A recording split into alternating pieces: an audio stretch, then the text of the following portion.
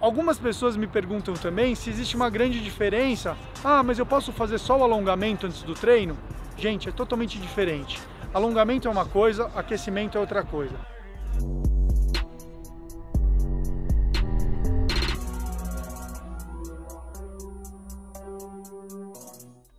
O alongamento, ele é muito legal, ele faz muito bem, mas ele tem o seu momento. Existem alguns estudos que mostram que nem vale a pena você trabalhar o alongamento passivo, que é aquele que você fica parado na posição, antes de você fazer um estímulo, por exemplo, de força, como um agachamento, uma flexão de braço ou uma, uma, um treino de musculação, por exemplo. Por quê? Porque você vai colocar o músculo numa posição que não é a verdade que ele vai gerar na hora do estímulo. Na hora do estímulo é contração, relaxamento, contração, relaxamento. Você não está trabalhando em amplitude de forma parada. Para isso, a gente usa mobilidade. Então, eu sou de uma corrente e gosto do trabalho de mobilidade pré-treino. Então, antes de você começar o teu treino, se solta bem, solta seus ombros. Vamos imaginar que eu vou trabalhar membros superiores. Trabalha essa soltura de ombros, faz os movimentos forma ampla. Eu estou alongando, mas é um alongamento dinâmico, é um alongamento com movimento, porque daí eu aqueço também. Se eu fizer só o alongamento passivo e for fazer a musculação, provavelmente eu não vou ter o mesmo resultado, não vou ter a mesma performance que eu teria se eu fizesse de outra forma.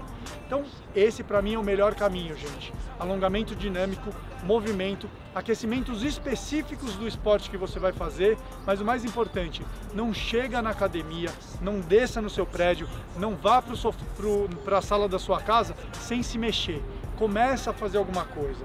Todos os meus treinos, eu sempre coloco um primeiro exercício para elevar a temperatura corporal, além do que a gente tem um guia de mobilidade, de aquecimento para poder fazer todos os dias, se possível antes do treino, corridinha leve, alguma coisa que ative esse metabolismo e eu tenho certeza que vocês vão render muito mais, vão performar muito mais. Galera, eu tive uma informação esses dias muito engraçada.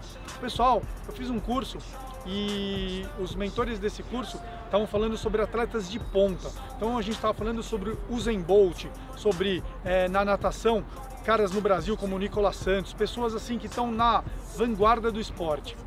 Eles estavam me falando que esses, essas pessoas eles chegam a passar 30, 40, 45 minutos da sessão de treinamento fazendo exercícios específicos.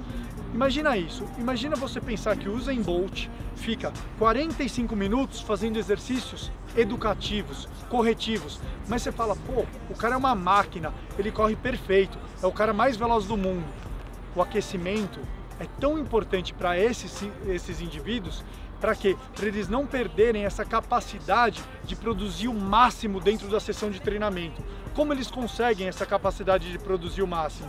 É, acentuando todas essas virtudes, ativando essa parte neurológica e fazendo com que eles consigam, através desse movimento, chegar o mais próximo da habilidade específica que é a corrida.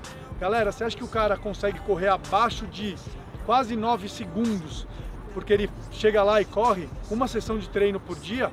Não, a sessão de treinamento dele é complexa, tem educativos, tem corretivos. A gente, imagina, indivíduos normais, você acha que a gente pode passar por isso?